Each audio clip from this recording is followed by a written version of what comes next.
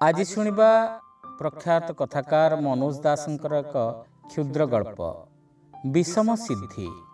ଚମ୍ପାରଣ୍ୟରେ ରହୁଥିଲେ ଯୋଗୀ ବିଷ୍ଣୁଦେବ।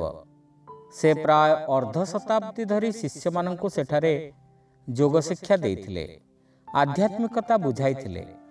ତାଙ୍କ ପୂର୍ବରୁ ସେଠାରେ ରହୁଥିଲେ ତାଙ୍କ ଗୁରୁ ଯୋଗୀ ଅରଣ୍ୟାନନ୍ଦ। ବିଷ୍ଣୁଦେବଙ୍କର ହଠାତ୍ ପ୍ରେରଣା ହେଲା ସେ ମାନସରୋବର ଚାଲିଯିବେ। ଶିଷ୍ୟମାନଙ୍କୁ ସେ ବିଦାୟ କରିଦେଲେ। ଖାଲି ତାଙ୍କର ପଟ୍ଟ ଶିଷ୍ୟ ଭକ୍ତାନନ୍ଦ ତାଙ୍କ ପାଖରେ ଥାନ୍ତି ବାପା ବହୁ ବର୍ଷ ଧରି ଏ ପରିବେଶରେ କିଛି ଆଧିଭୌତିକ ଶକ୍ତି ତରଙ୍ଗ ରହିଛି। ଆମେ ଏଠାରୁ ଚାଲିଯିବା ପୂର୍ବରୁ ସେ ଶକ୍ତି ତରଙ୍ଗକୁ ଭାଙ୍ଗିଦେବାକୁ ପଡ଼ିବ। ନଚେତ୍ ତାକୁ କାମରେ ଲଗାଇବାକୁ ପଡ଼ିବ। ବିଷ୍ଣୁଦେବ ଭକ୍ତାନନ୍ଦଙ୍କୁ କହିଲେ କାମରେ ଲଗାଇଲେ ତ ଭଲ ହୁଅନ୍ତା? ଭକ୍ତାନନ୍ଦ କହିଲେ ତୋ ଇଚ୍ଛା ହେଲେ ଲଗାଇ ପାରୁ। ମୋ ଗୁରୁଙ୍କର ଗୁରୁ ପ୍ରଥମ ଅବସ୍ଥାରେ ଏଠି ଏମିତି ଏକ ଯଜ୍ଞ କରିଥିଲେ ଯେଉଁଥିରେ ଶେଷ ଆହୁତି ଦେବାବେଳେ ସେ ମଣିଷମାନେ କାମନା କରୁଥିବା ଯେକୌଣସି ସୁଯୋଗ ଲାଭ କରିପାରିଥାନ୍ତେ ଯଥା ଚିର ଯୌବନ ବିତ୍ତ ଓ କ୍ଷମତା। କିନ୍ତୁ ସେ ସମସ୍ତ ସିଦ୍ଧି ଲାଭରୁ ସେ ବିରତ ରହିଲେ। ତେବେ ସେ ମୋ ଗୁରୁଙ୍କୁ କହିଦେଇ ଗଲେ ବାତାବରଣରେ ସେ ସବୁ ସିଦ୍ଧିର ପ୍ରତିଶ୍ରୁତି ରହିଛି। ଅତି ସାଧାରଣ ଜାଗଟିଏ କରି ଗୋଟିଏ ଛୋଟ ମନ୍ତ୍ର ବୋଲିଦେଲେ ସେସବୁ ସିଦ୍ଧି କରାୟତ୍ତ ହୋଇପାରିବ। ଏହାପରେ କଣ୍ଠସ୍ୱର ନିମ୍ନ କରି ବିଷ୍ଣୁଦେବ ଭକ୍ତାନନ୍ଦଙ୍କୁ ସିଦ୍ଧି ମନ୍ତ୍ରଟି ଶିଖାଇ ଦେଇ ପୁଣି କହିଲେ ଯଦି ସେ ଅପେକ୍ଷମାଣ ଶକ୍ତି ତରଙ୍ଗକୁ ଭାଙ୍ଗି ଦେବାକୁ ଚାହୁଁ ତେବେ ଜାଗ କରି ଅପେକ୍ଷାକୃତ ଆହୁରି ଛୋଟିଆ ମନ୍ତ୍ରଟିଏ ବୋଲିଦେଲେ ବି ଚଳିବ। ପୁଣି କଣ୍ଠସ୍ୱର ନିମ୍ନ କରି ସେ ଦ୍ୱିତୀୟ ମନ୍ତ୍ରଟି ଶିଖାଇ ଦେଲେ ଓ ଅତଃପର ସ୍ଥାନ ପରିତ୍ୟାଗ କରି ଚାଲିଗଲେ। ଭକ୍ତାନନ୍ଦ ଜାଗ ପ୍ରସ୍ତୁତ କରୁଛନ୍ତି ସେଠାରେ ପହଞ୍ଚିଲା କୁସୁମାକର। ତାଙ୍କର ଜଣେ ଗୁରୁ ଭାଇ ଭକ୍ତାନନ୍ଦ ଗୁରୁଙ୍କ ସହ ତମର କଥୋପକଥନ ମୁଁ ଗଛ ଆଢ଼ୁଆଳରେ ଥାଇ ଶୁଣିଛି। ସେ କହିଲା ସତେ ବର୍ତ୍ତମାନ ବୁଝିଲି ଗୁରୁମନ୍ତ୍ର ଦୁଇଟି ଉଚ୍ଚାରଣ କଲାବେଳେ କାହିଁକି କଣ୍ଠସ୍ୱର ଏଡ଼େ ନିମ୍ନ କଲେ? ମୁଁ ସେତେବେଳେ ଭାବୁଥିଲି ପାଖରେ ତ କେହି ନାହିଁ ଗୁରୁ କାହିଁକି ଏତେ ସତର୍କ ହେଉଛନ୍ତି?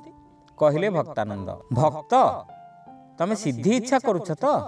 ପ୍ରଶ୍ନ କଲା କୁସୁମାକର ପାଗଳ ମୁଁ ଶକ୍ତି ତରଙ୍ଗକୁ ଭାଙ୍ଗିବାକୁ ଚାହୁଁଛି। କାହିଁକି ସେଭଳି ବୋକାମି କରିବ?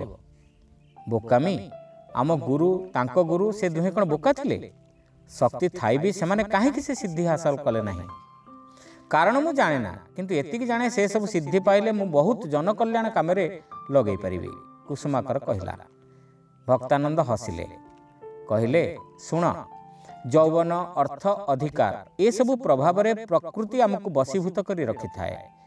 ପ୍ରକୃତି କବଳରୁ ମୁକ୍ତି ଯୋଗର ଅନ୍ୟତମ ଲକ୍ଷ୍ୟ। ତେଣୁ ସେଭଳି ସିଦ୍ଧି କୌଣସି ଯୋଗୀର କାମ୍ୟ ହୋଇପାରେ? ଭକ୍ତାନନ୍ଦ ବୁଝାଇଲେ। କିନ୍ତୁ ବୁଝିଲା ନାହିଁ କୁସୁମାକର। ତମେ ଯଦି ସିଦ୍ଧି ନ ଚାହଁ ମୋତେ ଛାଡ଼ିଦିଅ। ମୁଁ ସିଦ୍ଧିତକ ହାସଲ କରିନିଏ। ତମେ ଜାଣ ମୁଁ ଚିକିତ୍ସାରେ ଧୁରନ୍ଧର। ମୋର ସିଦ୍ଧି ସବୁ ମୁଁ ସତ୍କାର୍ଯ୍ୟରେ ଲଗାଇବି। ହଁ ଗୁରୁ କଣ୍ଠସ୍ୱର ନିମ୍ନ କରି କହିଲେ ବି ମୁଁ ମନ୍ତ୍ର ଶୁଣି ପକାଇଛି। ଦ୍ୱିତୀୟଟି ନହେଲେ ବି ପ୍ରଥମଟି। କୁସୁମାକର କହିଲା ଦେଖ କୁସୁମାକର ଗୁରୁ ମନ୍ତ୍ର ତୋତେ ନ ଶିଖାଇ ମୋତେ ଶିଖାଇଲେ କାହିଁକି? ଭକ୍ତାନନ୍ଦ ପଚାରିଲେ ମୁଁ ଏଠି ନଥିଲି ବୋଲି? କୁସୁମାକର ଉତ୍ତର ଦେଲା ଟିକେ ବିରକ୍ତ ହୋଇ ଭକ୍ତାନନ୍ଦ କହିଲେ ତୋର ଯାହା ଇଚ୍ଛା। ଏହାପରେ ସେ ସ୍ନାନ କରିବାକୁ ଚାଲିଗଲେ। ଆସିଲା ବେଳକୁ କୁସୁମାକର ଜାଗ କରି ମନ୍ତ୍ର ପଢ଼ି ସିଦ୍ଧିଲାଭ କରିସାରିଲାଣି।